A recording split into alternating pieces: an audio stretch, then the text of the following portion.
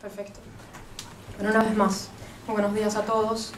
Y es un gran placer tenerlos hoy aquí con nosotros en esta bella ciudad de Estocolmo, capital de Escandinavia. No podría faltar un detalle muy importante. Muy bienvenidos a nuestro seminario Los actores pro democracia en la sociedad civil y la situación de los derechos humanos en Cuba. Este seminario ha sido organizado por la Asociación Misceláneas de Cuba y la publicación Misceláneas de Cuba, revista de asignaturas cubanos. Muy bienvenidos además en nombre del Centro Internacional Liberal de Suecia, patrocinador de este evento.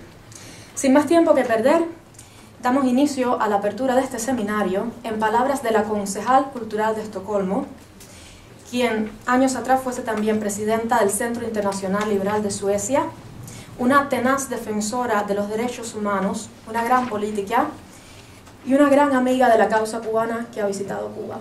Señoras y señores, para mí es un placer presentarles a Madeleine Huestet.